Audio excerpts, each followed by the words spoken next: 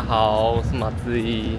我现在还在台中啊，昨天住宿，然后今天早上就来到台中市区，现在把车停好，准备要去吃午餐。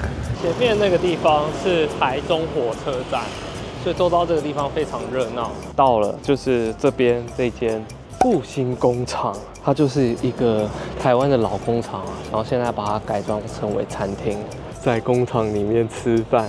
之前我去大阪的时候就有拍过一个类似的主题，它一样也是一个老工厂，然后把它翻新改造之后呢，变成一个餐厅。那现在我们后面看到这个复兴工厂一九六二，其实也非常有历史。它的位置其实是位于台湾盛祥堂化妆品公司的首个工厂所在地。我们现在看到这栋建筑呢，已经屹立超过一个世纪了，见证了台中旧城区的兴衰。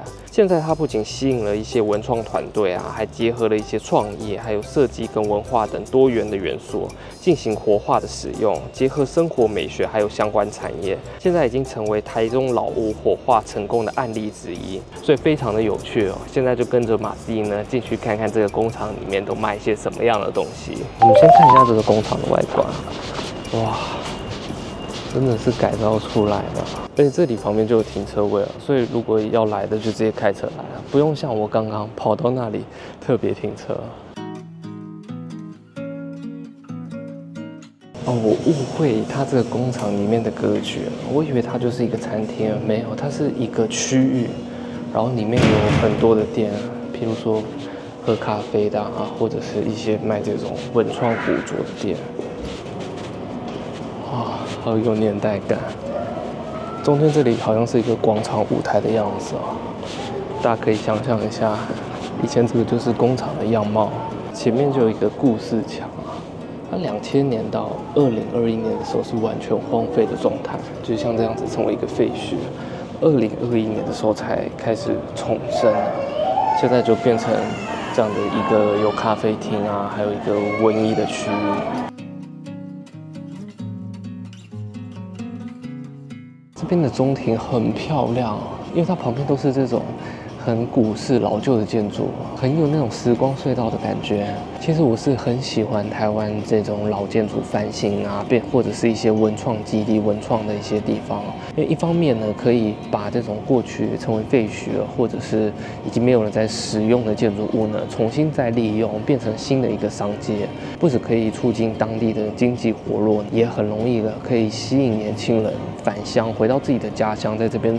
创一个小业啊，做一些文创小市集，或者是一些影视的商业。去二楼看看好了。哇，看连这个楼梯都是以前那种工厂的样貌。它总共有三楼啊，二楼好像有餐厅，也有一些小店。然后三楼的话有一些摄影棚的样子啊，或者是一些影像工作室。烟囱原为化妆品工厂生产设施之一，贯穿工厂一至三楼屋顶。烟囱，从这里就是看到刚刚我们在一楼的那个中庭啊，哇，这边光线超级好的，在这里拍照已经是超级漂亮。还有一间店是专门卖这种黑胶唱片啊，以前这种复古的录音带。三楼看一下，哇，这里封锁，这边好像是卖一些这种小古董的店啊，进去看一下。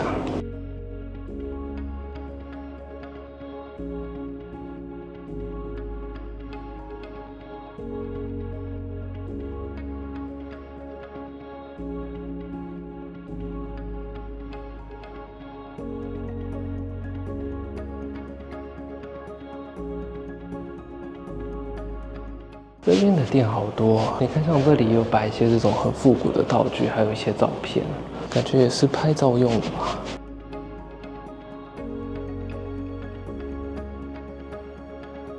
哦，我知道了，这个地方就是等于算是怀念用的，就放一些以前工厂他们可能留下来的一些器具。做化妆品，那可能就是一些化学器材啊。美国哪里寄来的信啊？这边都是做化妆品的一些化学原料。后面那个都不知道什么，看起来很像这种，反正就是化学。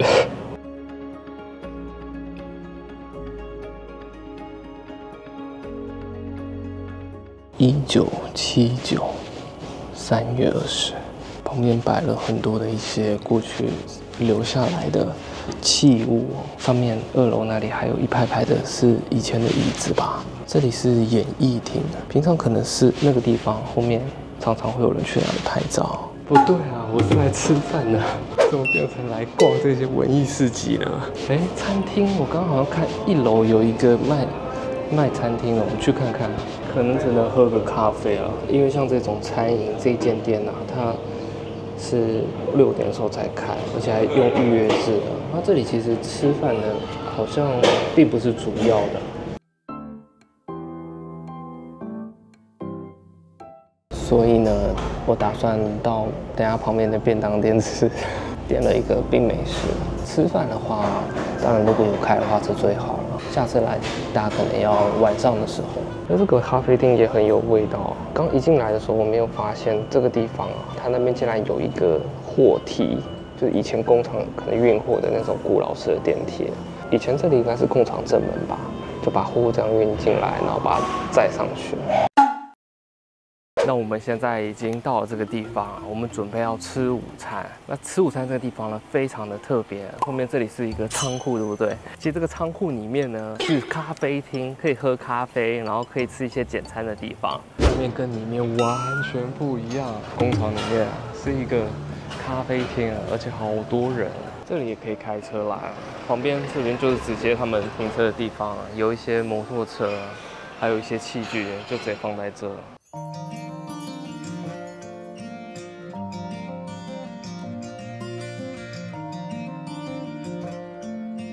放在外面的冰箱仓库啊。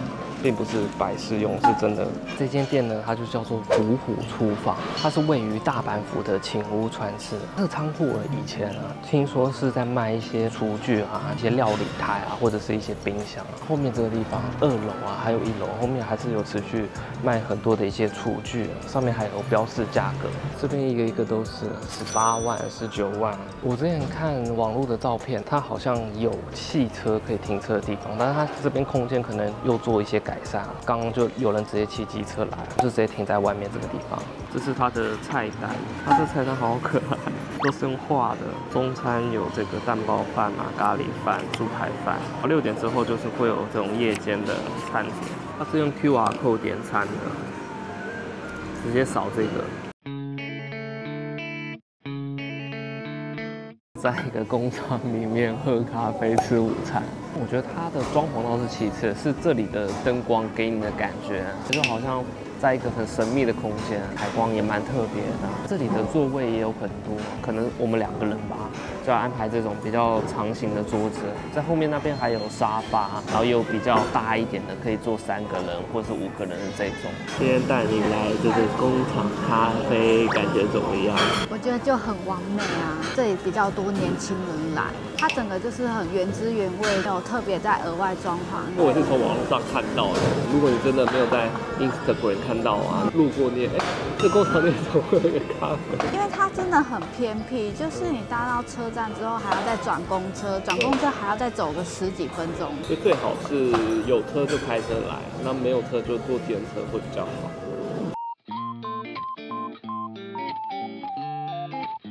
我们点的全部餐点都已经来了。那我点的这个是 Loco Moco，它就是有一点这个汉堡排，很多沙拉，然后加一些蛋。Abby 点的是 Omelette，冰咖啡跟柳橙汁。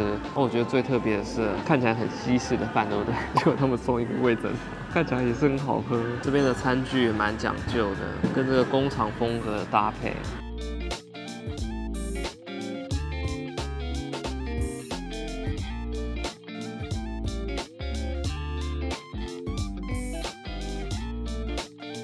它这沙拉好多，旁边这里还有一点这种酸菜嘛。我觉得我的这个汉堡牌的套餐啊，Abby 点的那个比较好吃，它那个蛋包饭的口感很甜，味道比较顺口。我这个话就比较有点咸一点，肉质偏硬。现在旁边外面啊，等待的人越来越多，但是其实大家有没有注意，这边的座位啊，旁边空位其实很多。那日本餐厅有一个很特别的地方，它在带位的时候，譬如说像我旁边这里有空位，它会刻意的去错开一些距离感。在等待的客人呢，其实他们也比较愿意多花一点时间，希望我坐到这个座位呢，旁边可能是比较没有人，因为有些人可能要聊天啊，声音会比较大声一点，还是希望私下的感觉。所以我觉得这个是日本餐厅蛮细节的一个地方，他彼此之间有一个这种默契，感觉怎么样？我觉得还蛮好吃的啊，而且吃还蛮饱的。这一个蛋包饭是一千二，它会有附旁边就是有沙拉，一个味增汤嘛，饮料另外一点是四百五。以完美餐厅来讲，它没有特别提高价位，一千两百多的餐点就是跟外面其实差不多。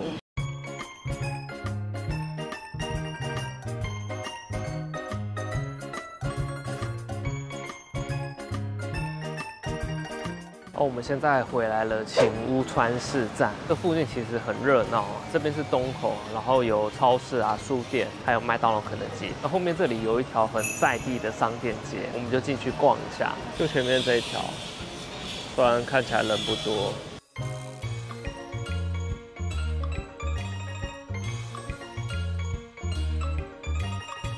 是一间卖洋式披萨的。蛮可爱的，温馨的感觉。这边有一间日剧里面的咖啡厅，颇有年代风气。这好像是新开的店，做的很新，卖咖喱饭。这边商店街感觉店比较少一点，有些铁门还关下来。前面那边还有一条，我们去前面看看。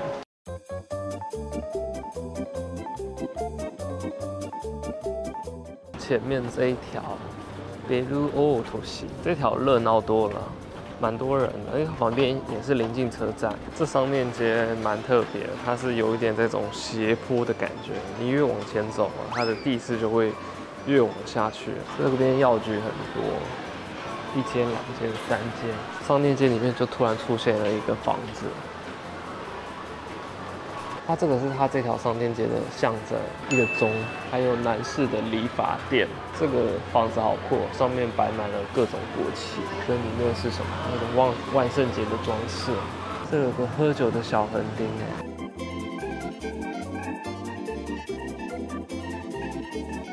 这条商店街，它的在地小店超级多的，都是当地居民来这边逛，下班可能就经过，发现一间松本清药妆店，这里应该完全没有任何的游客。这商店街走到这里就结束了，前面那边还有一个神社通商店街，最后面那边有个神社，应该是大力神社。不过天气不好，下次再去了。超市里面冷气超冷的，哇，好多便当哎！这超市真的超冷的，它这个没有放冷藏，摸起来就跟从冰箱里面拿出来的一样。而且刚刚还有客人在旁边发抖，坐起来好像蛮舒服的。还有日本古早棉被，没有，这是长的哦。一八八零猫的让渡会预约制的，这是提供猫咪领养的一个。位置吗？这里还有可以搜寻大阪府的一些魅力商店街。大阪商店街真的超级多的。